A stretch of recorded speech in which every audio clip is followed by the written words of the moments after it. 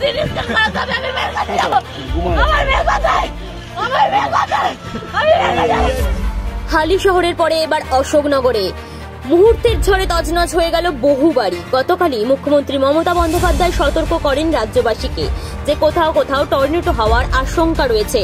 বৃহস্পতিবার সকালে টর্নেডো স্বমহিমায় হানা দেয় উত্তর চব্বিশ পরগনার অশোকনগর বিধানসভার বাইশ নম্বর সোমালক্ষ্মী কলোনি ও গুমার একাংশ এলাকায়।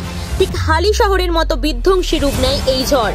নিমেষের মধ্যে প্রায় কুড়ি থেকে তিরিশটি বাড়ির আচ্ছাদন হাওয়ায় উড়িয়ে নিয়ে যায়। ঠিক সকাল নটা পনেরো নাগাদ এমনই ঘটনা ঘটল। ঘটনার সাক্ষী রইল উত্তর চব্বিশ পরগনার অশোকনগরের গ্রামবাসী। আতঙ্কে রয়েছে এলাকাবাসী। বহু মানুষ আশ্রয়হীন হয়ে পড়েছে। প্রাণহানি না ঘটলেও জনবহুল এলাকায় যদি এরকম তাণ্ডব দেখা দিত, ক্ষয়ক্ষতির মাত্রা যে বাড়ত তা বলাই বাহুল্য। অশোকনগর বিধানসভার বিধায়ক শ্রী নারায়ণ গোস্বামী মহাশয় ঘটনাস্থলে দুপুরের মধ্যেই ক্ষয়ক্ষতি হওয়া এলাকা পরিদর্শন করবেন বলে জানা গেছে।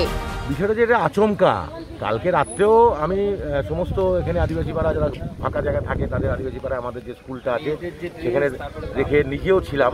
প্রায় রাত্রি আটটা করে আমি এখান থেকে গেছি, যখন একটু জোশটা কমে গেল বিষয়টা। কিন্তু আজকে যেটা শুনলাম, হঠাৎ তখন আমি বাড়িতে।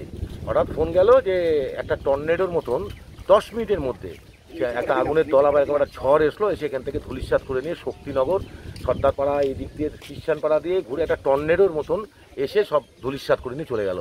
এখানে কয়েকটা বাড়ির টিন একটা বাড়ির তো সব কিছু চলে গেছে।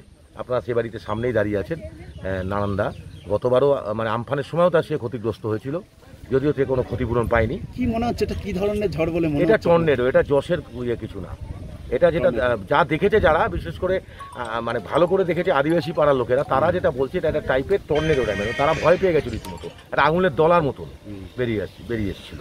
Bureau report Bhumi twenty four into seven